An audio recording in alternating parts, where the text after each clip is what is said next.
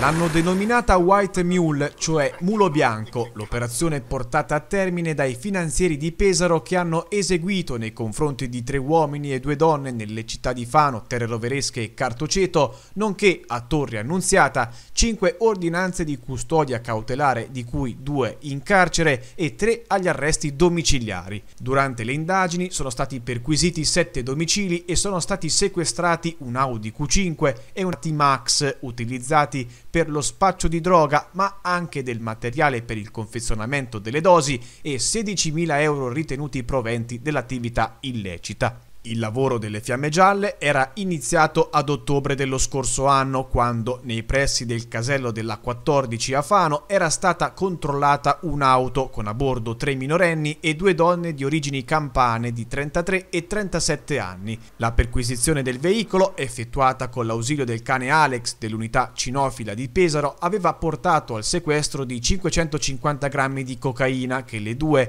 avevano tentato di disfarsi gettandola dietro ad una recinzione detenzione. La droga, il mezzo utilizzato e tre cellulari sono stati subito sottoposti a sequestro e le due donne erano state arrestate e portate nel carcere di Villa Fastigi.